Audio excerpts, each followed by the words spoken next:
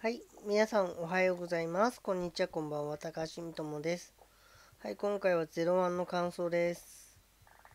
えー40話から43話までですね。まあ40話、いろいろあった回ですね。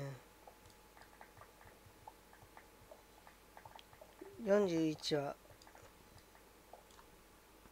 てか、ごめんなさいね。久しぶりの投稿なので、感想動画ね。だからはっきりして41はごめん。感想忘れちゃった。で、42は、いつが退場しちゃう回。まさかの退場にはびっくり。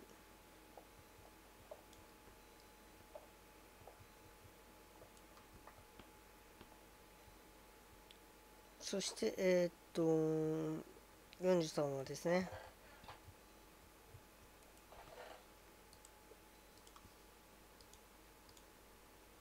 43話、えー、ジンが退場してしまうと。そして、なぜか、あ、あの、某社長、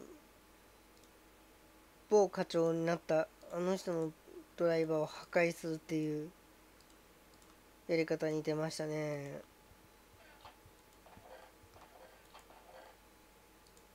あそこ絶対アルト君の石じゃなさそうにも見えましたけどね。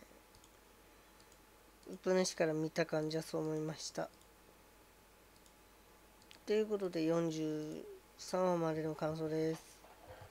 来週から普通通りあの3つ分の話で投稿させていただきますので、よろしくお願いします。つってももうすぐ最終回だけどね。